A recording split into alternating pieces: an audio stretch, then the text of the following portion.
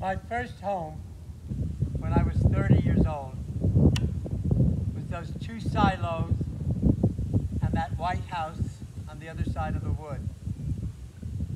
It's home for me. And now at 83, I'm back home. This was love and affection, and it gave me in my life a new direction.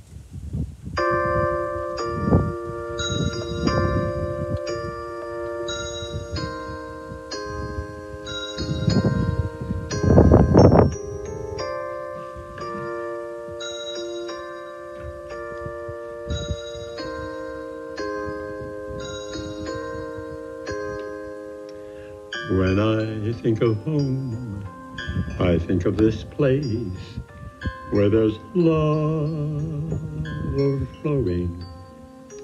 I know I'm at home.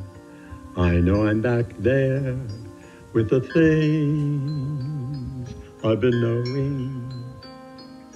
Wind that makes the tall trees bend into leaning. Suddenly, the raindrops that fall have meaning, cleaning the scene, making it all clean.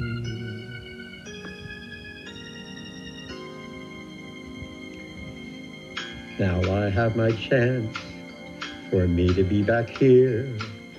Now that I have direction. It sure is nice to be back home where there's love and affection. And just maybe I can convince time to slow up, giving me enough time in my life to grow up. Time, be my friend, see me through till my end.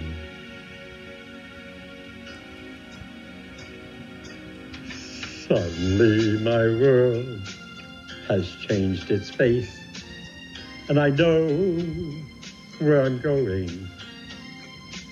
I've had my mind spun around in space, yet I've watched my mind growing if you're listening, God, if you're listening, God, if you're listening, God, don't make it hard for me to know if I should believe in the things I see here. Tell me, should I just run away? Or should I try and stay? Living here in this wonderful world might just be a fantasy.